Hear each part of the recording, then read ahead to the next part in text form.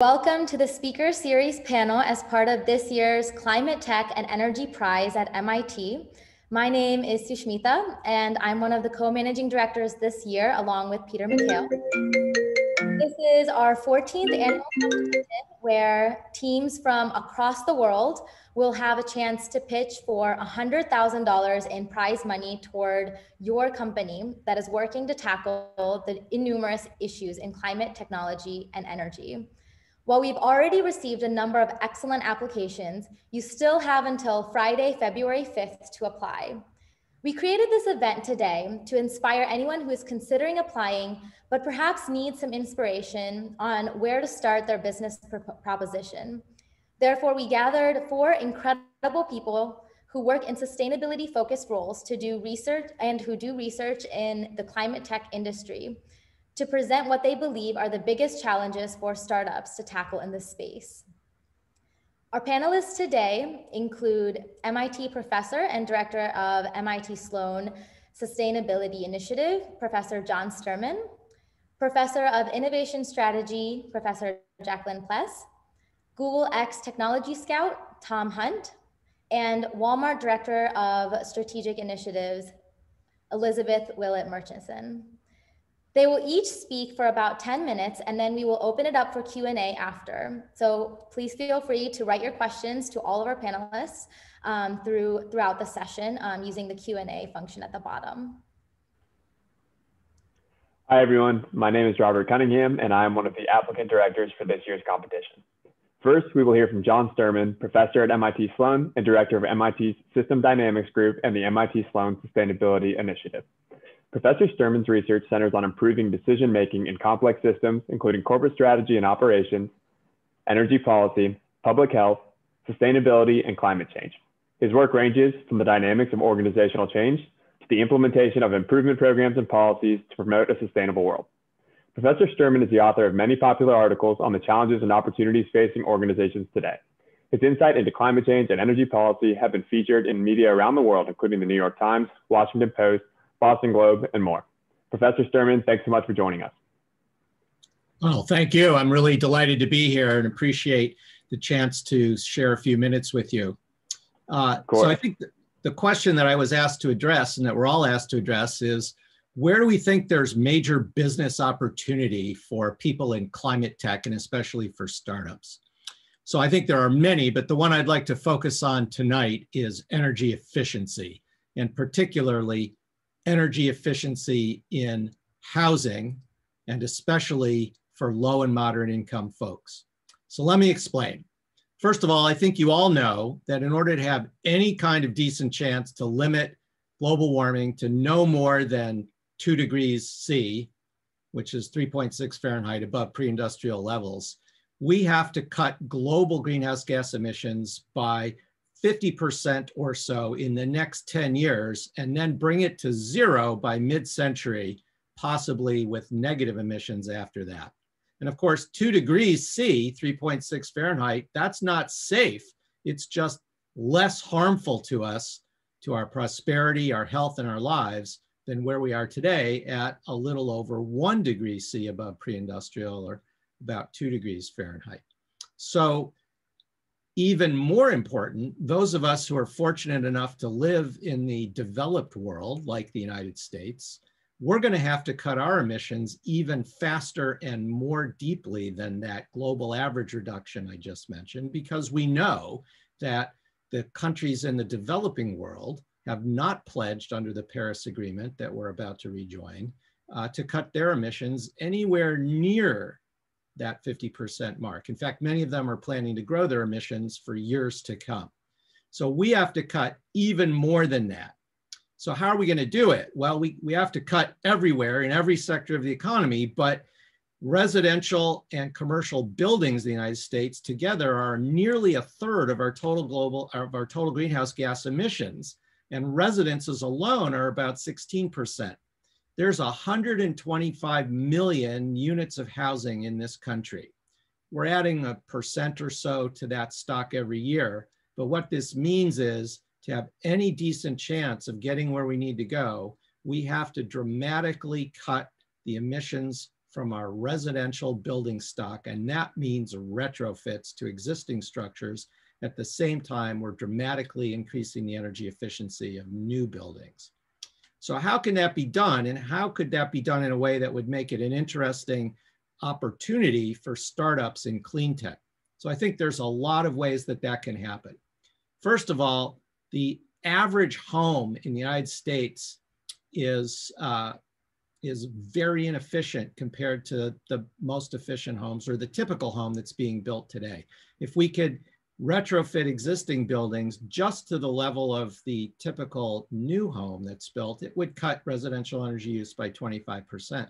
But of course, that's not the standard because the typical new construction in this country is extremely inefficient compared to what's possible profitably and to what's been demonstrated in this country and other parts of the world, including the passive house standard from Germany and net zero construction of all, all kinds all around. So what would it look like? It would look like a deep energy retrofit using integrated design and a whole systems approach. A lot of the retrofit activity that's happening today is piecemeal. You get an organization, whether it's public or private, to come in and do an energy audit, and they'll tell you, oh yeah, you know, your windows are leaky. We're gonna, uh, we can weather strip those for you, uh, or we can blow some insulation into your attic. That's not a whole system approach, and it leads to sharply diminishing returns to doing a little bit more, a little bit more, a little bit more. If you do a whole system integrated de design approach, you look at the entire building or even neighborhoods of buildings from a systems perspective.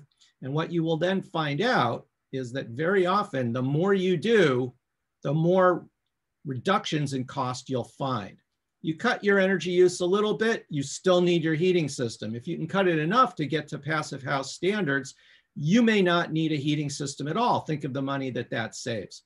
This is not theory. This has been done multiple times. Uh, and it's easy actually to get to zero net, even for existing buildings. So where I'm speaking to you right now, uh, my home uh, is uh, about 95 years old. It's a traditional stick framed uh, colonial revival style of home that you find in the Massachusetts area. And when we moved in here in 1990, it was grossly inefficient. It was heated by fuel oil, very little insulation, the original windows, and so on To keep a long story short, although we did a number of those piecemeal activities over the years to try to lower our carbon footprint, about five and a half years ago, my wife and I did a deep energy retrofit on this structure in the context of whole system design. And that meant bundling what we did with a renovation that, quite frankly, it desperately needed anyway. Uh, so what did we do? Well, lots of extra insulation, including extra insulation on the outside of all the walls because the walls aren't thick enough, as is typically the case in existing structures. New windows of much higher quality than would normally be put in or required by building code, et cetera. Uh, we completely ripped out the natural gas heating system, and it's now an all electric home. So LED lighting everywhere, highly efficient appliances, heat pump uh, for heating and cooling, uh, induction cooktop, uh, heat pump hot water, et cetera, and solar on the roof. And so over the past five full years of production experience that we've got, we have made 50%, almost 50% more energy than we have used, which means that we now have no electric bill, no heating bill, no cooling bill, and uh, my electric utility owes us over $4,000, which we'll be able to use for electric vehicles or donate it to a worthy charitable organization. So it's possible and it's profitable, but here's the really important thing. This needs to be done for low and moderate income folks. Unlike MIT faculty, they don't have the financial resources, the access to credit, uh, et cetera, to be able to finance a project like this themselves. Many of the poor and disadvantaged in our society live in rental housing. And then that exposes you to the landlord tenant problem, where if they pay, the tenants pay the utility bills, landlords have zero incentive to make the capital investment to upgrade energy efficiency. Even worse, for many of the poor in our society, every winter, and I mean right around here, within a mile of where I am, every winter, the poor and people on fixed incomes have to choose between heating and eating. That's unfair. That's unethical. that perpetuates systemic racism and discrimination and disadvantage. And it's not necessary, it can be fixed, and there's tremendous opportunity for entrepreneurs to contribute to that solution. So, what would it look like? It would look like solving the landlord tenant problem. That's not a technology issue. That's a question of how do you structure a model contract that your town or city could put out there that would enable landlords and tenants to quickly and less painfully negotiate gain sharing agreements that would enable those upgrades to be done. It looks like gaining access to lower cost capital for the owners and renters uh, of low and moderate income housing so that they can actually afford to put it in. There's lots of ways to do that, PACE financing, bundling, residential uh, town level solarization programs, et cetera. And most importantly, it means partnering with other organizations to be able to capture some of the co-benefits that arise from this kind of deep energy retrofit. Those co-benefits include jobs, and those jobs are distributed everywhere, all across this country, uh, and can build community resilience, build skills, increase capabilities, especially for the folks who need them the most. And there's tremendous healthcare co-benefits.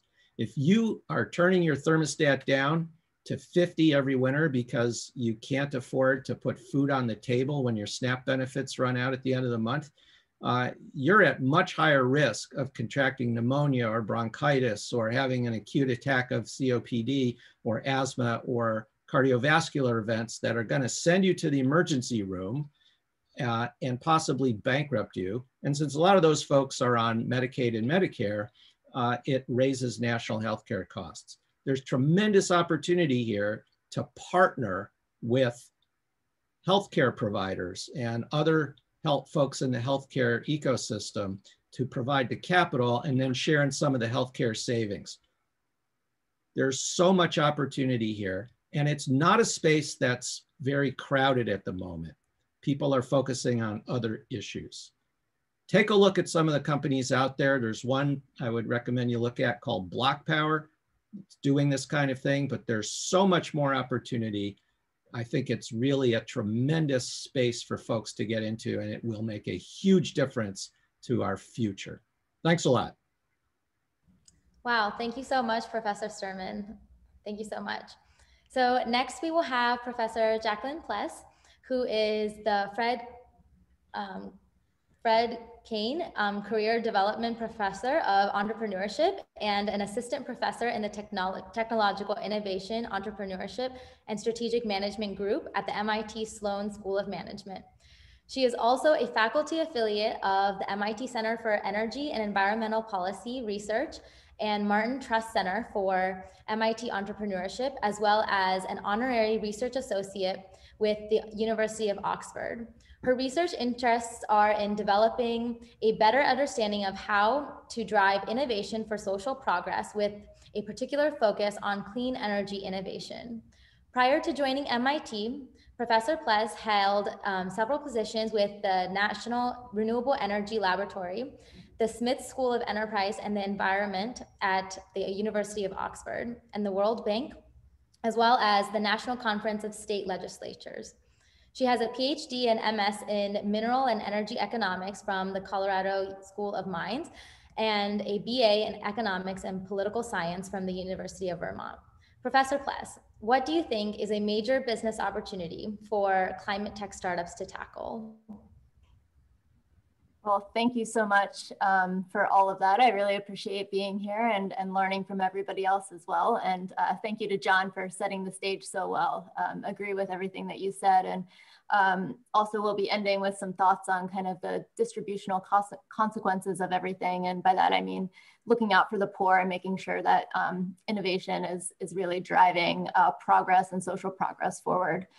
Um, so in thinking about these, the business opportunities, um, I thought that I would structure my comments um, around basically two broad classes of startups or um, startups that are tackling different types of technologies. Uh, and um, both of which that would contribute to accelerating decarbonization of the energy sector. Um, and each of these two different types of startups basically would entail different types of business strategies and come through different challenges as well. Um, so the first of, of those would be those that are a little bit more software oriented. So these are going to be companies that are aiming to address things like how to better integrate renewable energy into the system, um, using data and analytics to improve operations, and essentially developing new software that'll help provide a better service. And then the second category would be those that are um, a little bit more hardware oriented. So those that are actually developing the technology, developing smart meters, developing um, more efficient solar panels and things of that nature. Um, and, and so each of these two different kind of classes of companies are going to require different strategies to be successful, and they're going to tackle different parts of kind of the innovation uh, cycle that we need to think about for energy. So on the kind of more IT software oriented side of things, um, so these are going to be companies that are really trying to address issues around integrating renewable energy into the system, um, conditional on there being uh, cost effective and, and reasonable uh, technologies to do so. Um, and so this would be something like, okay, you take a, um, given that there are renewable energy resources on the grid, um, if you think about smart meters, which are meters that can be in your homes, but they're also, they can be elsewhere um, and utilities and energy service providers and, um, and you in the household as well can essentially track data, track information about your energy use and improve decision making, um, at least in theory. So in this uh, context, then a utility could possibly help identify system vulnerabilities, um, help improve their quality of service, reduce costs, um, and possibly identify needs for investment. Um, and so, but what we need really on top of just the, the technology and the meters themselves is the actual data, the analytic, uh, analyzing the data in a way that can actually create some value um, for both the utility as well as customers.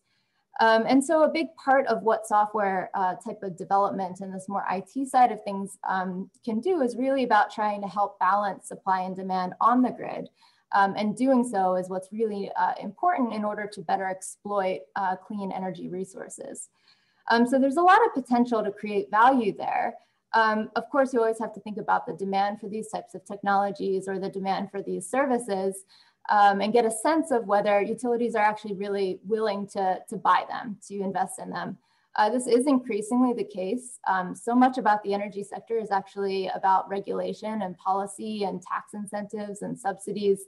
Um, and so even if utilities wouldn't necessarily um, adopt these things on their own, they're, they're kind of being forced to in a way. Um, but one thing that we can find kind of in uh, anecdotal evidence as well as some data is that a lot of these uh, utilities and service providers, they, they might have the meters or even have certain software um, services that are informing some decisions, um, but the data and the, the data is not being analyzed um, in a way that can really create a lot of uh, value. So they're not necessarily engaging with the technologies. And so I think going this route, um, it's, it's really gonna require, well, first of all, paying a lot of attention to, to regulation and policy, um, in terms of where you want to target these types of um, deployments of this technology, but also think about, you know, what are some of the things that else that you can offer that could have a competitive advantage to create more value. Things like offering training, um, uh, different types of forms of information that you can pro provide to service um, to those that are providing electricity so that they can use that information in a better um, and more efficient way.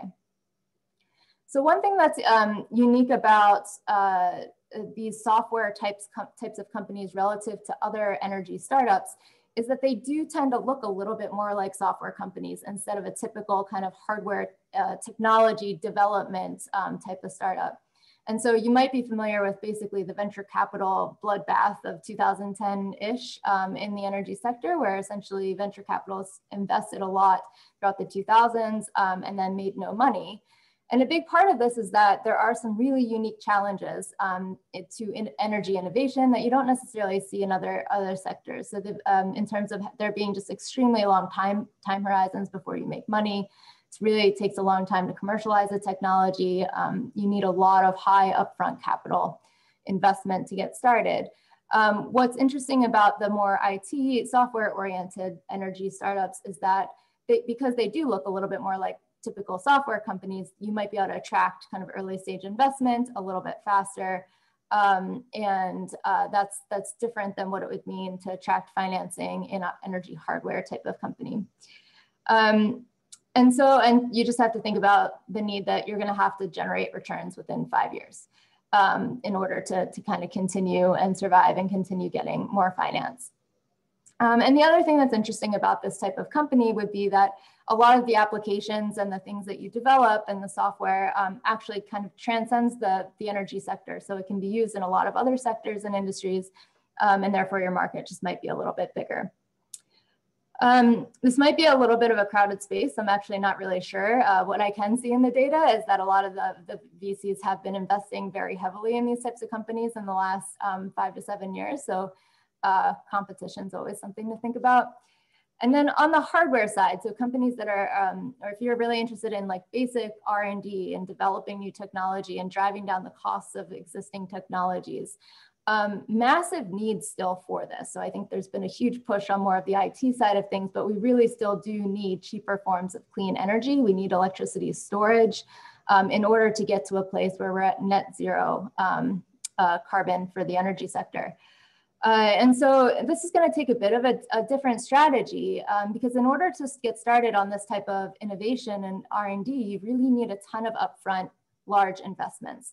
This is not what um, venture capitalists are going to do. Uh, they're kind of moving a little bit more towards a spray and pray kind of model where they're distributing just smaller amounts to, to more projects. And so this is going to mean looking for funding. Um, traditionally, it might be uh, kind of these large grants that might be given by the government.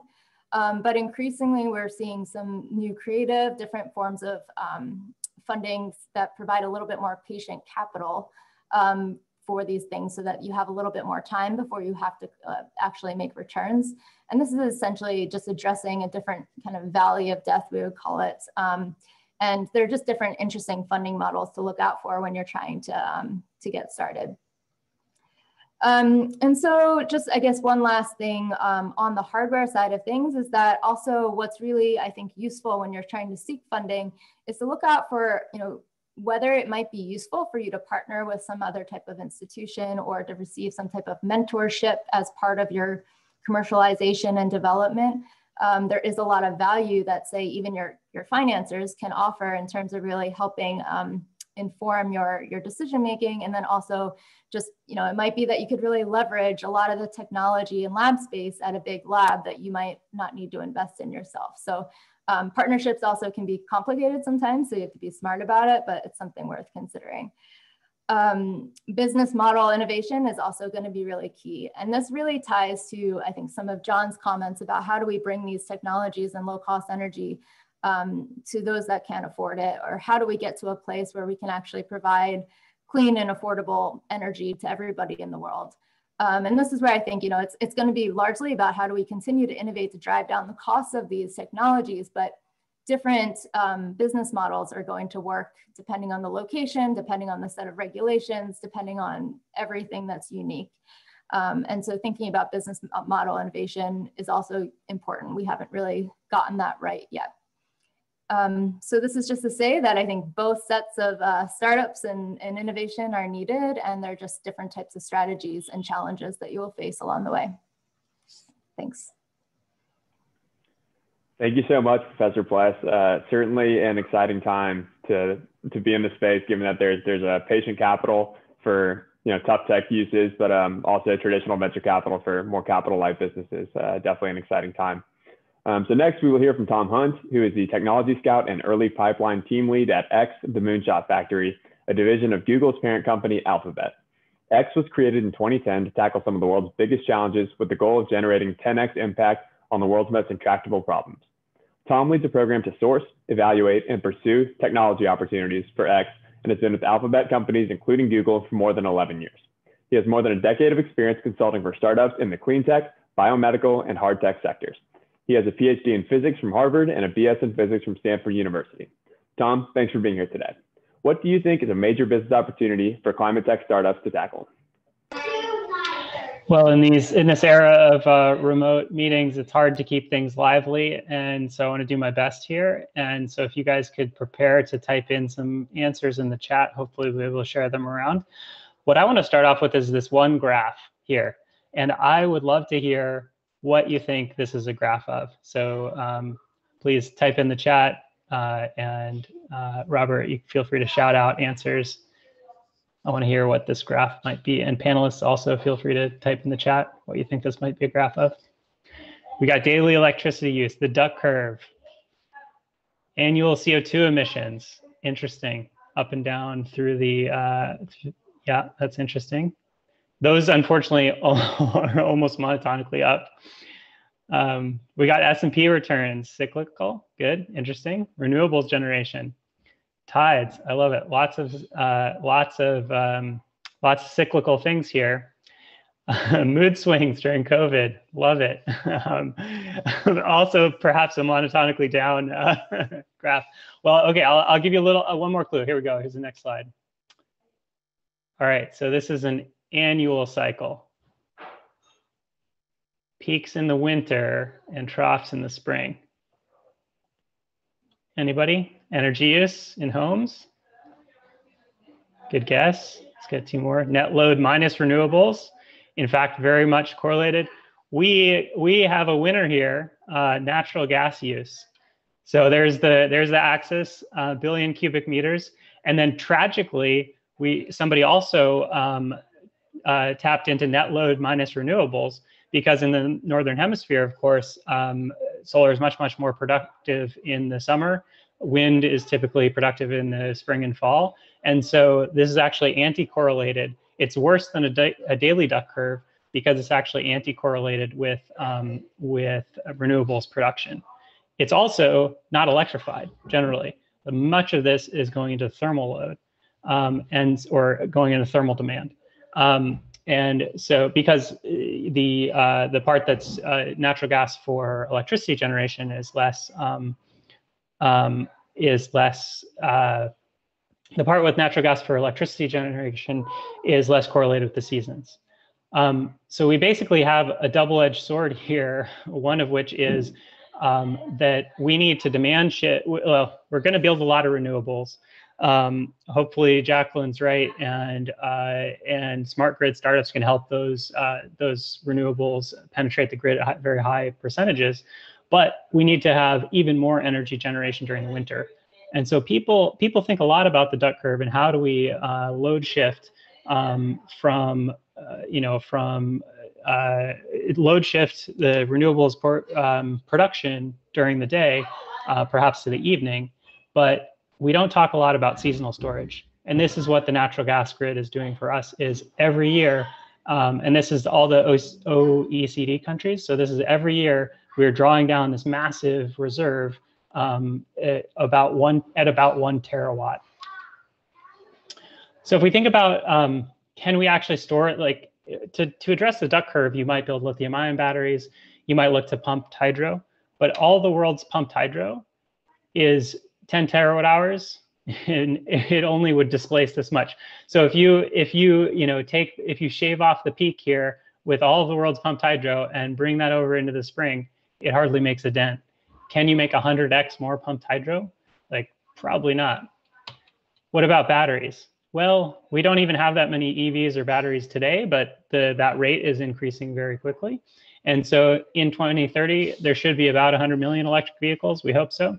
That's also going to be all, all those batteries. If you drain, if you filled them up in the um, in the summer and drained them in the in the winter, you'd also only have about 10 terawatts or like this big visually of a of a chunk. So we can take two tiny bites out of this annual cycle. So what are some businesses? I want to I want to hand this over to the entrepreneurs again in the chat. What are some businesses that you can think of that would take advantage of um, this this uh, little discussed uh, dichotomy in annual energy demand for that's being met by natural gas right now?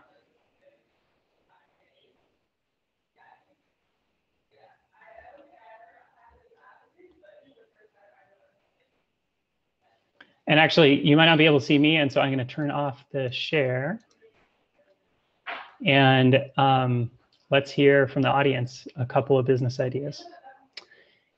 Yes, energy efficiency and thermal and envelope. Um, yeah, so I think a lot there on the demand side. We have two choices, right? Demand side and supply side. And not on the demand side, uh, John had the very first description of what I had too, and this and this person in the chat, uh, the uh, the building envelope is critical. Uh, so much is thermal heating in not just residential though, um, also commercial, industrial, and uh, and globally. So thinking about how to how to switch that over, um, and a lot of the things that John did in his own house. Can we electrify this? Can we go to uh, heat pumps that are much more efficient? Can we go to district heating um, that could uh, more efficiently heat larger areas? Electricity, chemical fuels, absolutely. Um, I think that's a huge one because like uh, you just aren't going to have electrochemical storage. There are there are a few companies that think they might be able to get to very low cost electrochemical storage, but even that's probably week time scales instead of a year time scale. And um, can you use the same kind of storage mechanisms that we have today to store fo fossil fuels, whether that's hydrogen under the ground um, or in giant tanks, whether that's uh, liquid fuels? Um, and so I think that this is even more powerful from a startup perspective because you might be inspired by solving this problem, but if you can make very low cost um, hydrogen uh, from renewable sources, you would not only solve this problem, you solve a lot of other problems that, that are out there in terms of chemical production and, and many other things that can't be decarbonized. So that's pretty good. Yeah. Renewables in the southern hemisphere and the global transmission system. This is actually interesting tidbit. Buck, Buckminster Fuller um, describe of the famous like geodesic dome uh, fame uh, drew up a global uh, electric grid. Um, you might have to solve some political problems before you can practically implement that, but but I do think it's pretty interesting. One more idea from the audience, and then I'll give you a couple more.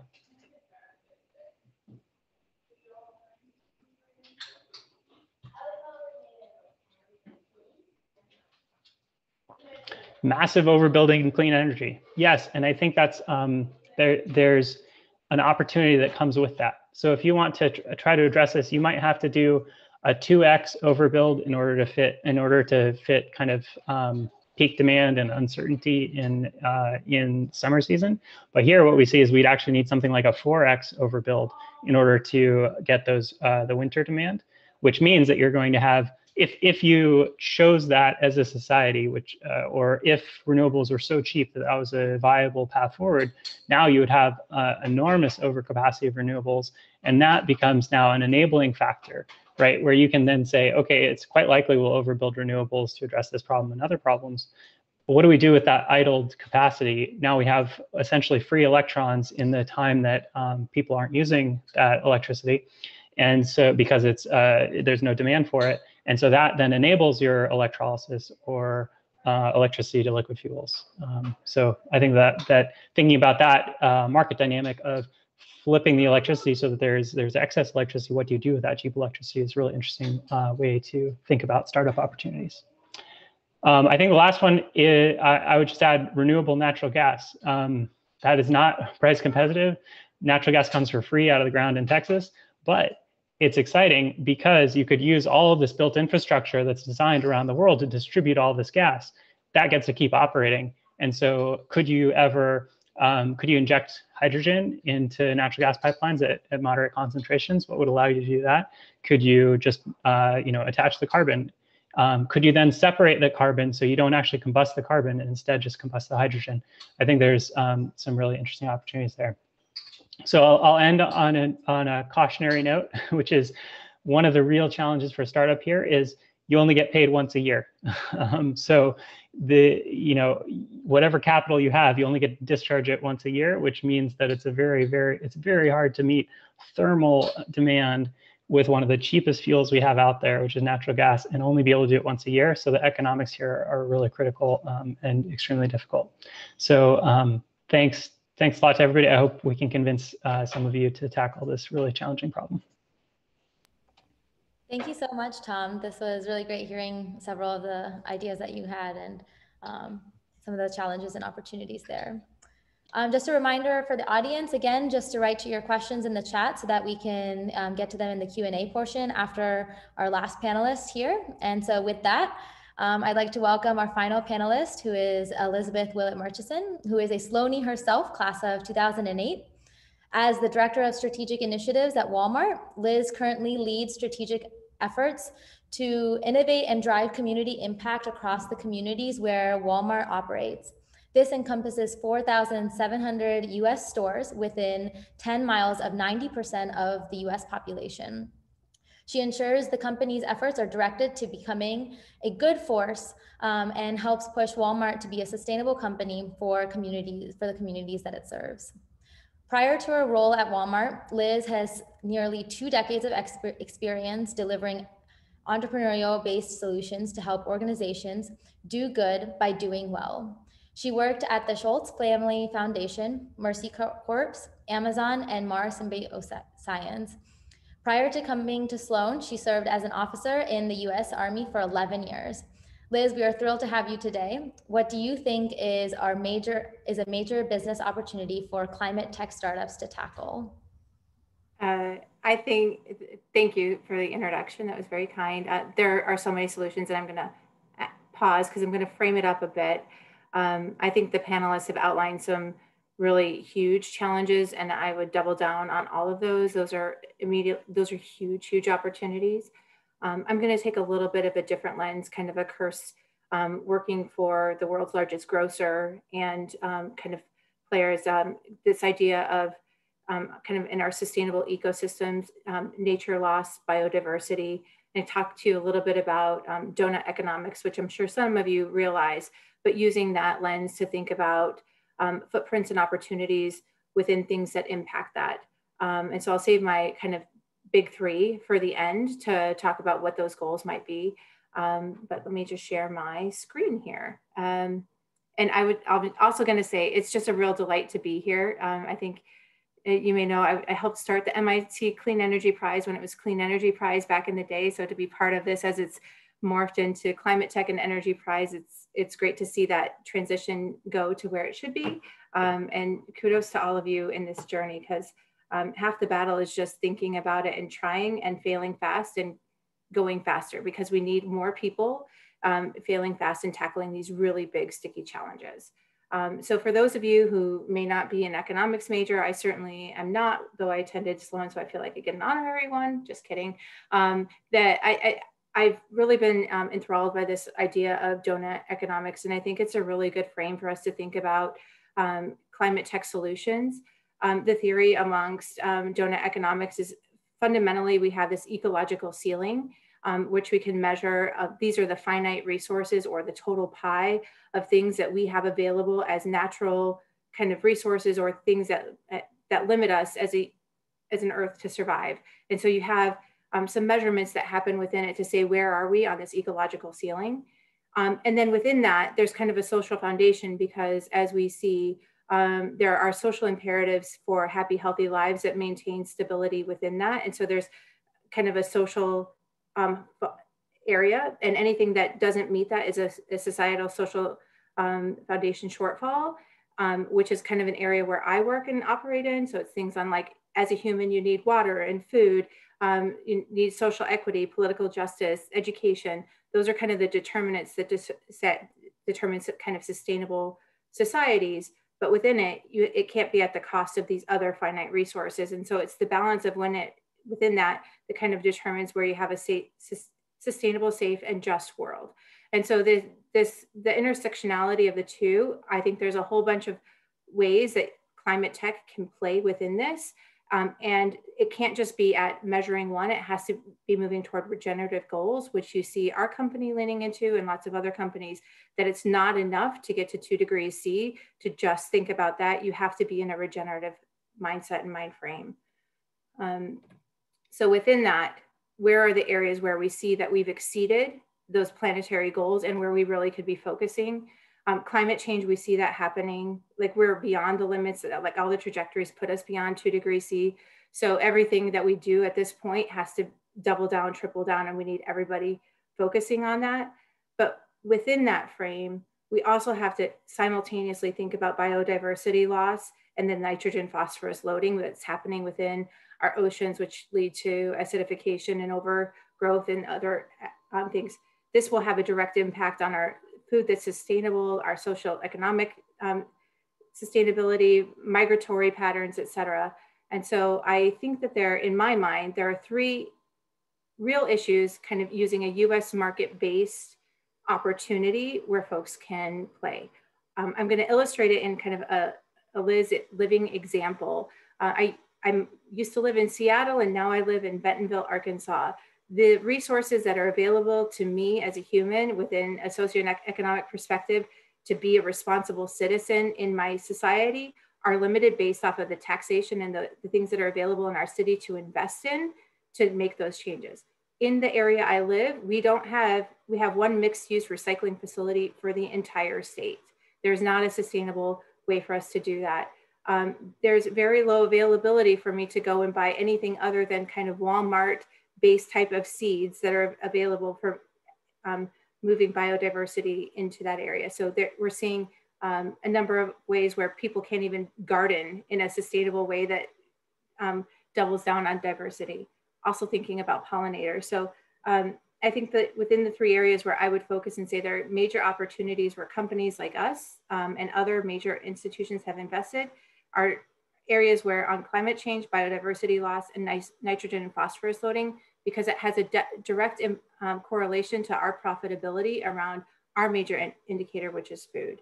Um, and so here are the three areas which I would say are the big, big areas, MRFs, mixed use recycle facilities. Currently, mixed use recycle facilities um, are in very few locations in the country. Where they are, um, they still don't tackle the entire use of, of plastics and recyclability there.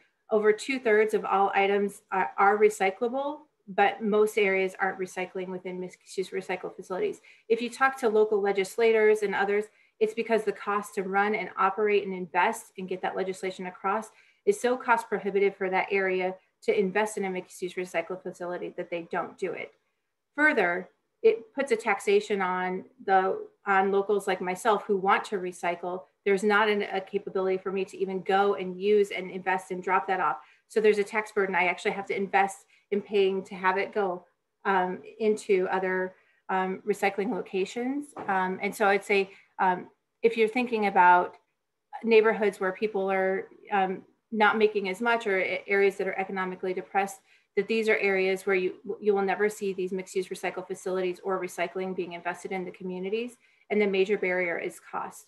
So innovations in and around it, I think about two-way logistics um, that can provide affordability within an organization. So I think of models where you could have a box being dropped off from Walmart or Amazon or any other place, and then you could send it back through carriers to a mixed use recycle facility that usurp that capability. And uh, organizations who have invested into these sustainability goals may invest in that. Um, so I think that there are a number of things around recyclability and two-way logistics that could be invested. Um, fertilization, capture, and reuse. I think one of the um, winners in a previous year um, focused very much on how to create fertilizer that um, sequesters nitrogen versus uh, emits nitrogen. Um, I'm thinking about other ways to keep that runoff to have sustainable agriculture. Um, where it you cannot grow food without fertilizer, but that fertilizer has these secondary effects um, that are detrimental to things like oceans and food wildlife. So focusing in those areas is also a big area of opportunity um, that both growers and end users are looking at from a biodiversity um, sustainability standpoint. Um, and then last, micro farming diversity solutions. Um, the, we hear a lot about the farm to table movement, but I think it, you're gonna see um, in environments where people are looking for more um, individual sustainable consumer solutions to do micro farming. Um, everything from you've seen this thing called um, seed sheet where somebody you can order and say, I want these seeds printed on a sheet printed where I as a consumer can use that to do micro farming. I think you can see things for pollination and others where you have consumer-based solutions that are highly profitable, um, where you see end consumers gravitating toward it, but also work toward um, climate tech and, and challenges. So um, I'd be interested in hearing, similar to Tom, uh, others who are, are, looking at solutions around biodiversity uh, and this kind of idea of recyclability, um, preventing that bio, biodiversity um, declination, um, where they're interested in focusing. So if you want to put in your chat.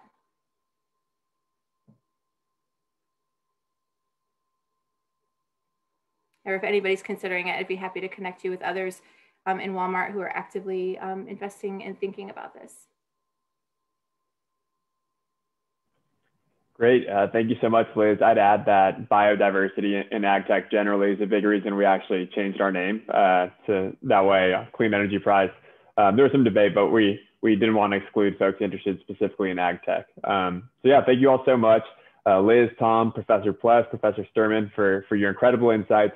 Uh, we're so appreciative of your time tonight, but but also your work and research broadly uh, that inspires us all to be better members of our communities, global and otherwise. So our audience has some great questions for you. But before we open it up, uh, would any of you like to comment on, on anything that's been said or, or expand on some of your own comments? And no pressure.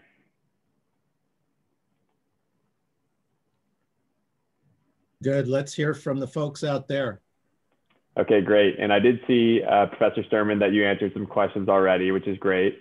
Uh, so I'll go straight to the remaining open question from Will Sawyer.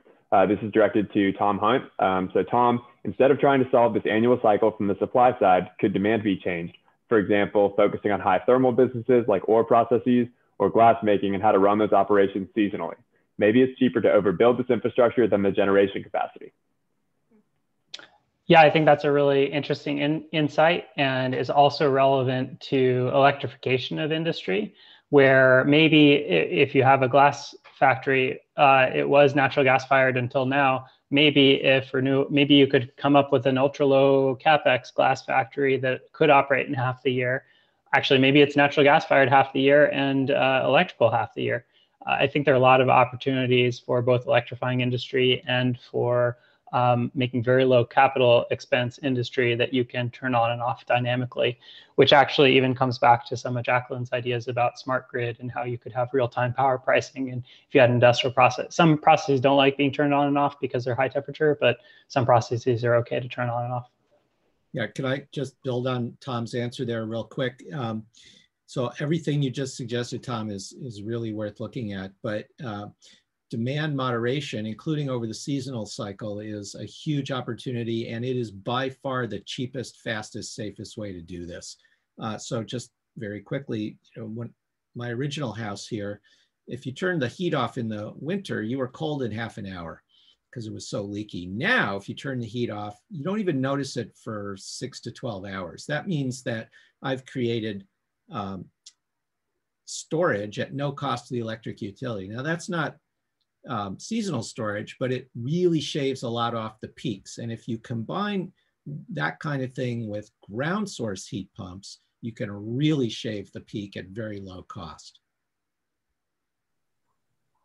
Yeah, and I can just build on all of this a little bit more if we have a moment. Um, I totally agree with both Tom and John's uh, comments and uh, not to counteract my own comments all that much, but demand response and getting people to change behavior, uh, this is all extremely important, but it's definitely not going to solve the problem. It just needs to be part of the puzzle.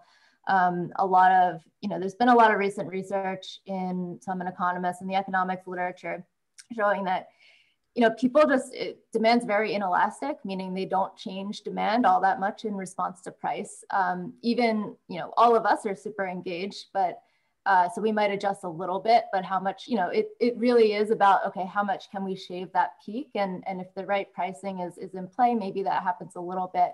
Um, but without things like, like, I don't know, storage or something else to really complement that solution, um, you know, we, we really need both. Um, and I would you know, personally say that overbuilding anything is not a, gr a great solution, but um, we might need to overbuild uh, something. I just, um, even real-time pricing. So I actually have a new paper that looks exactly at real-time pricing and uh, people just aren't responsive. So um, there's a lot of work to be done. So I totally right. People aren't going to be that responsive. You build the real-time pricing response into the thermostat with a $10 chip. So it's all automatic once a house is tight enough for it to make a difference. And then people don't have to worry about it. There's nothing for them to do. And on the overbuilding story, I'm not a huge fan of uh, CDR, carbon dioxide removal technologies like direct air capture, but uh, because it's better to prevent the creation of a defect than to try to fix it after it's in the hands of the customer. Just think GM ignition switches or any number of other disasters. However, if you overbuilt the renewable generation capacity enough to really solve the load problem that Tom pointed out, after all these other things are, are done, then you can use that excess power in the in the warmer weather to run your DAC machines, which are thermodynamically not favored otherwise, but if you had excess power, you could do it and start sucking some CO2 out of the atmosphere at very low marginal cost.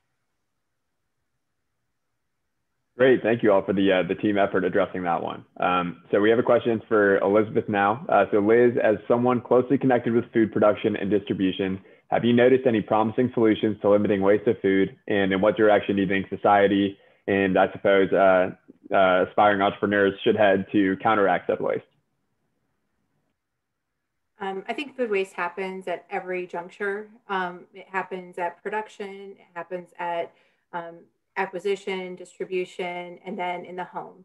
Um, I think once you get down to the in-home le level, you still have about a third of total food that's purchased it um, goes to waste. And if you go down the like the funnel, you know, it happens here and it widens. But if you're still talking about a third of food waste at the end um, in home still goes to waste, that's a lot. Um, and when you think about everything, some would say, oh well, if it's fresh food um, or if it's you know some has some organic nature and we can compost it but the reality is as we, we talked with like MRFs uh, if you think there's problems with MRFs there's even further problems with composting um, you know we think about two-thirds of total production of um, compostable products are never composted they go into landfill um, so we think about it as we think about all the levels of it i think there's capacity for measurement there's capacity for transparency um, diversion. There's opportunities to integrate with um, national networks like Feeding America to provide more transparency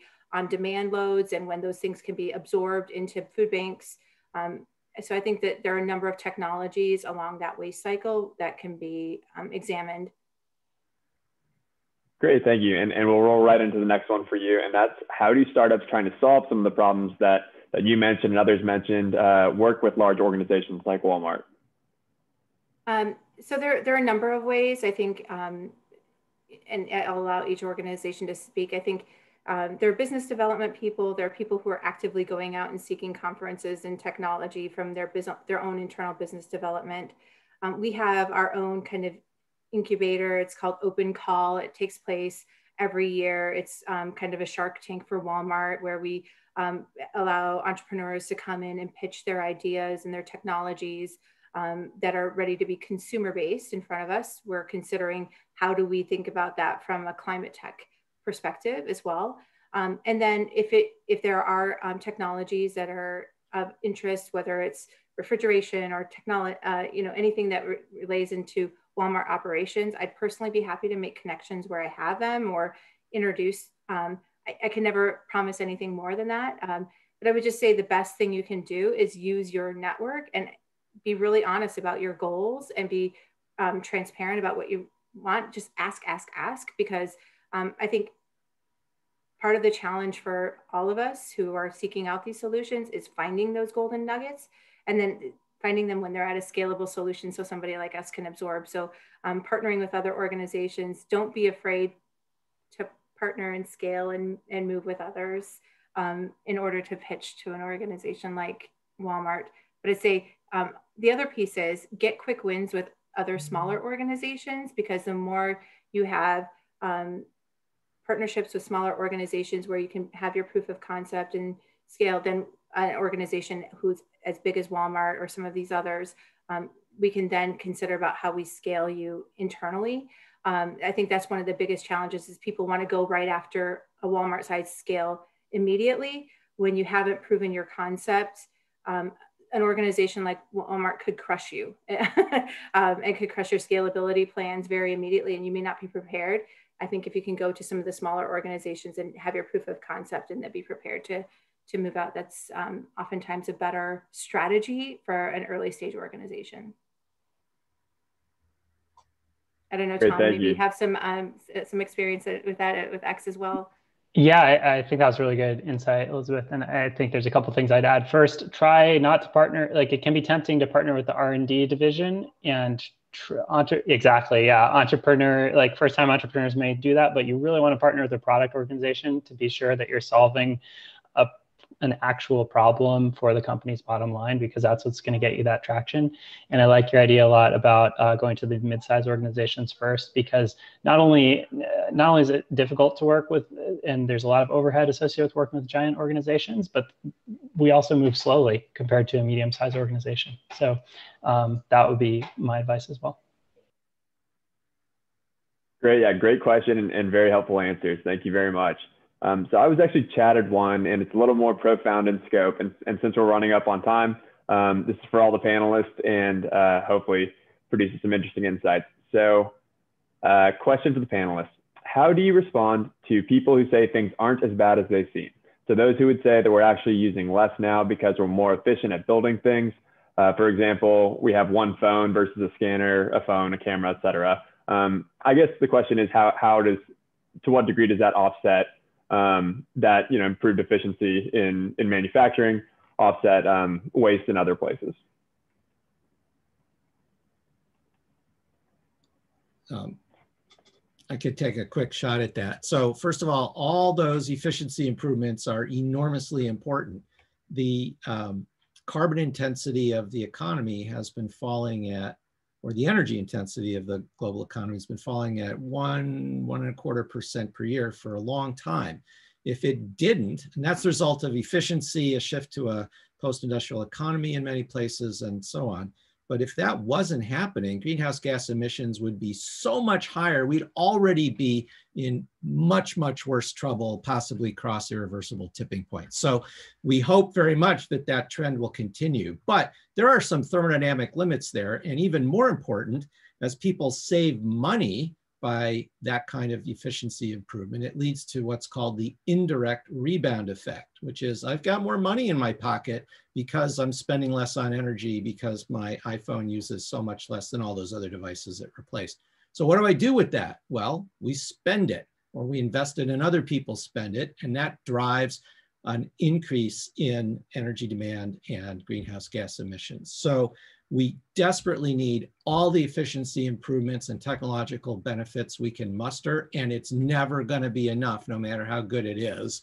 Because if we just use the savings to increase the scope and scale of global consumption, that's a trap we can never escape from.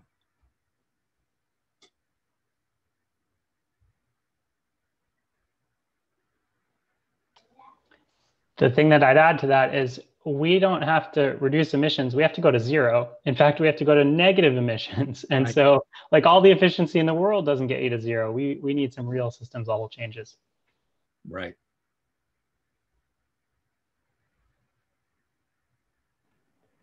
Great. Uh, I guess I'll turn it over to Susmita now to close us out.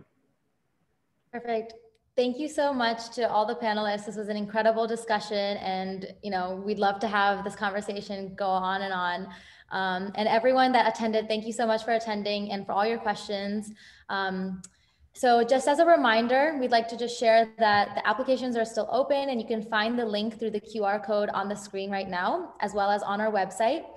Uh, you have until February 5th, 2021 to submit your application. We'll announce semifinalists and mentors on March 1st. And looking ahead, April 8th will be our semifinals and April 15th will be our final pitch day. A link to the webinar will be available on our website um, if you want to rewatch. And please do follow us on social media. We have a Slack community, Facebook, Instagram, and LinkedIn. And if you have any questions, do not um, hesitate to reach out to us at ceprize at mit.edu. So again, I'd like to thank, thank all the panelists once again for all their time here. Um, and that's it. Thank you to the entrepreneurs who are trying to tackle these big challenges. We need more of you. You're here. Keep up the good work. Bye, everyone. Good meeting you. Bye-bye, folks. Thank you. Thank you, panelists. Bye.